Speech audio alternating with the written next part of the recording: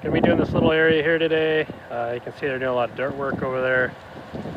All right, folks, uh, Midwest Diggers here doing a uh, solo hunt today. Thought I'd get out for a few hours. Uh, doing a, an old state area here. Uh, I think it's some old state hospitals. Anyway, I just had a 80 signal, kind of solid on the Garrett, and just dug it. And uh, I think I got a foreign coin. I don't know what it is. Still looking at it here. Uh, but this definitely looks like a foreign coin. Uh, 1957, at least it's got a date.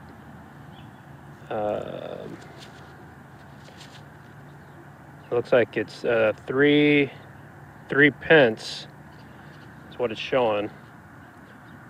So I don't know a whole lot about foreign coins, but I'm gonna have to get it uh, cleaned up for folks back at the shop and get it back on video. Uh, it looks like uh, Queen Elizabeth, three pence. That's a pretty neat little find. 1957. Folks can see that, but uh, pretty good little find out in the middle of this old state hospital area. There's the front of it. Anyway, I'll be back at you folks soon.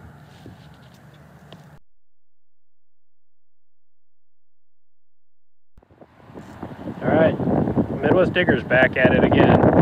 And uh, back here at this old state hospital and just dug a little, uh, a little silver, I think, guys, out of the hole.